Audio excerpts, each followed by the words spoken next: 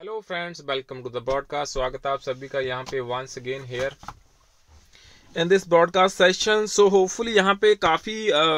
Friends happy होंगे आज। सो so, यहाँ पे एक ऑप्शन रास्ता खुल चुका है for the bank pensioners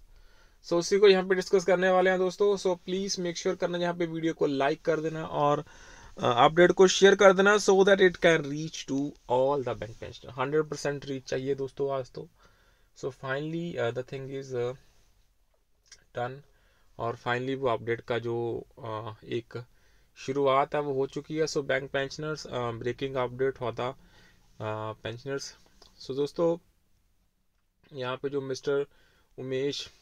Sharma ji का मैसेज है Delhi high court seventh November 23 W number 8095 and 9679 by 2016 GOP versus SBI and 1875 by 2013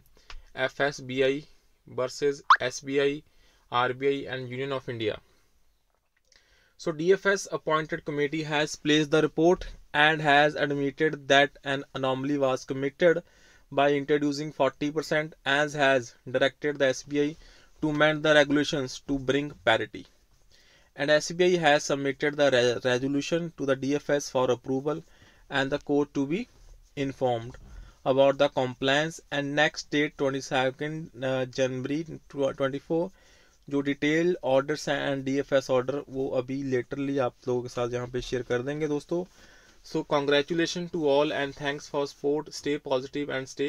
connected regards mister Umesh Sharma ji so दोस्तों I think that is why अभी state Bank of India का जो quarter to का result रहा है वो थोड़ा सा